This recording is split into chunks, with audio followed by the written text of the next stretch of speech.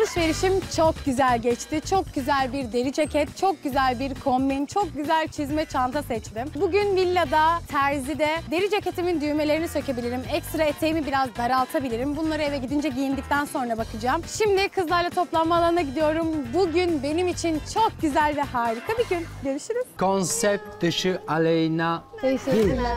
Eda'nın en büyük rakibi konsept dışı kaldığı için aşırı mutlu şu an.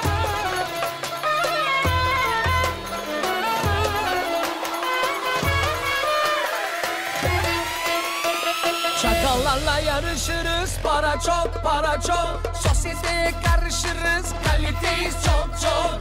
Ailemiz zirvede harikayız çok çok. Bomba gibi